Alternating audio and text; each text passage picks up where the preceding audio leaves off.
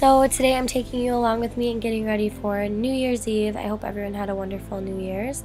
Um, as always, all my products and outfit details will be in the description below. And if you're not already subscribed, definitely do. With that said, let's just get into the video. Here I'm doing my eyebrows. I have a new eyebrow routine that I'm actually obsessed with. So if you guys would like a more detailed video on that, definitely leave that in the comments.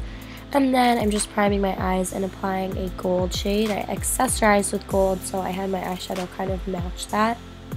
And I did apply that gold shadow wet to make it a little bit um, more pigmented. And then I'm just blending it out with a warm toned brown as usual.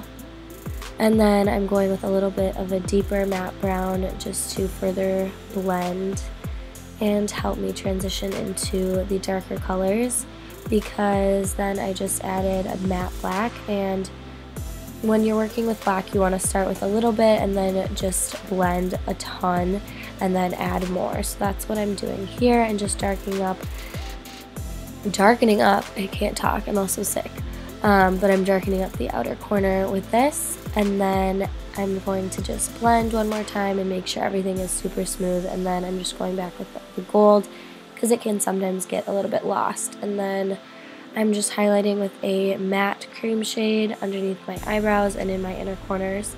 And then I'm adding my foundation. I already had a little bit on but I decided to add another layer. And so I'm blending that out with my beauty blender. And then I'm spot correcting my spot and then I'm also going to blend that out with my Beauty Blender. And then I'm adding a liquid or cream contour to not only add dimension but also darken up my foundation because I did apply self tanner to my body. So I want to make sure my face matches. And then I'm just blending that out with my Beauty Blender as well. And then I'm adding a little bit of a lighter concealer to my under eyes and then also again to some of my problem areas because they were being really stubborn and annoying and blending that out and then I'm going to set my under eyes with a banana shade and then I just used whatever was left on my brush to powder the rest of my face. I didn't want a ton of powder, I wanted more of a dewy finish.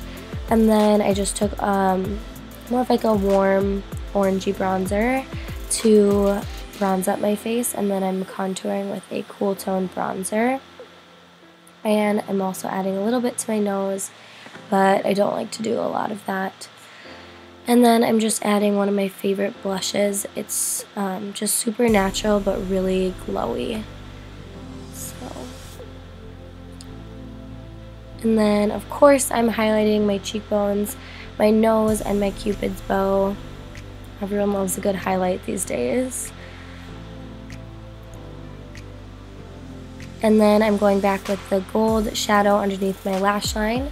And I really packed this on. And then I went with the black on the outer half. And I just used my finger to kind of smoke it out. But you can use a brush. That works too. And then I'm just curling my eyelashes. And then of course I got mascara on my skin. I literally don't think that's ever not happened to me. So that's good. And then I'm applying fake eyelashes. They were literally all out when I went to Target and Ulta. So gotta put those on for New Year's Eve. And then I'm just lining and filling in my lips with one of my favorite um, lip liners. And then I just love this color. So I basically use it as a lipstick. And then I'm just finishing that off with a lighter, more brown lipstick in the center. I love the combination of it and that is the finished makeup.